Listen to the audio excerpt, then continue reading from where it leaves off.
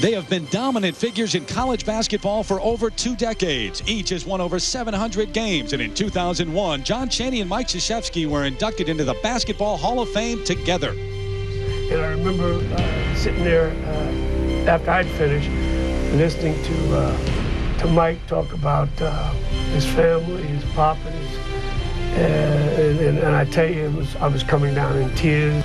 John is a pioneer.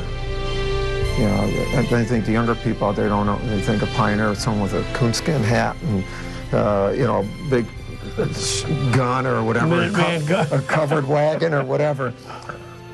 But if you, there's no better example of what college basketball has done to advance race relationships, you know, unification in our society than to follow his career. Don't even get down to John Shea, yeah. Here's Redick, who's been quiet so far.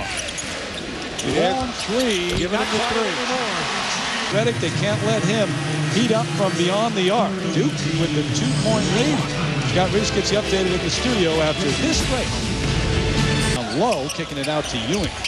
And Blue Devils not shooting awfully well either. Six of 19. Despite the, the deficit in rebounding, that's part of Temple's MO. As I mentioned before, minus six per game. They're at a deficit in rebounding. Redick gets another one. He hit a three just a few moments ago, and now he's got six in the game and a three-point lead for the Blue Devils. And you look at Mark Tyndale's body language as he went out there to contest that shot. Just can't believe that the guy's got that kind of range.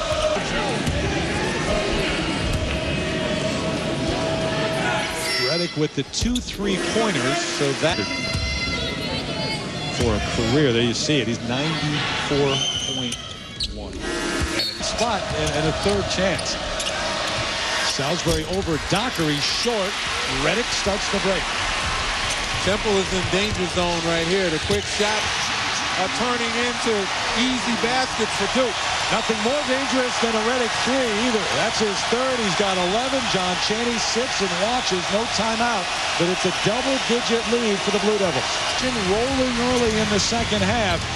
49-39. J.J. Redick his third three of the game. Nuance and adjustments that are made throughout the game. They make you look bad.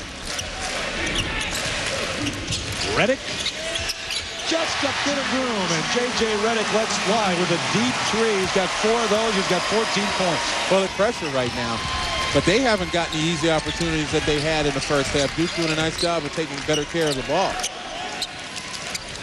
Look at everybody paying attention to Redick.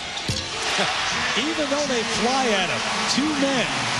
Redick hits another three. He's got five of those. He's heating up here in the second half pat his chest and say, my bad, because he didn't step in to block out.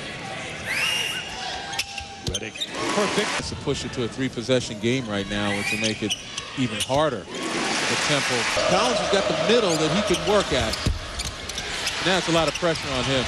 There's Ewing. They'll go ahead and foul him, or try at least. Yep, he'll go back to the free throw line. That'll be automatic, and that should do it.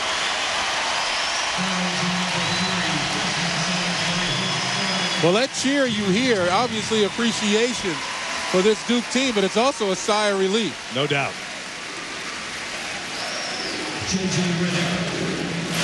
You come into this game, and John Chaney's club with a record of 5 and five. If you're uh, one of the Cameron crazies, or just a Duke fan here at 10 and 0, you expected to win this, and maybe it's a little even, a little closer than uh, they even thought it would be. But there is maybe a little history. The miss by Redick at the free throw line. The undefeated, look at that.